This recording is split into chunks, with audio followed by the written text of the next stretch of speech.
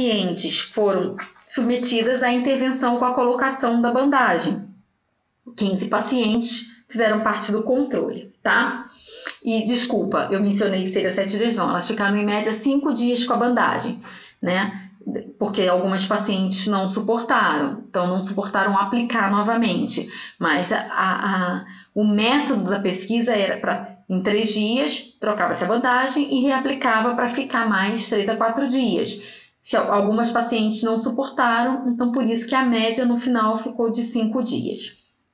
Então, o que foi observado nesse estudo é que é, pacientes que desenvolveram seroma no grupo em que utilizaram a bandagem foi uma porcentagem de 57% e no grupo controle foi 73% não tem esse valor significante quando fazem os cálculos estatísticos.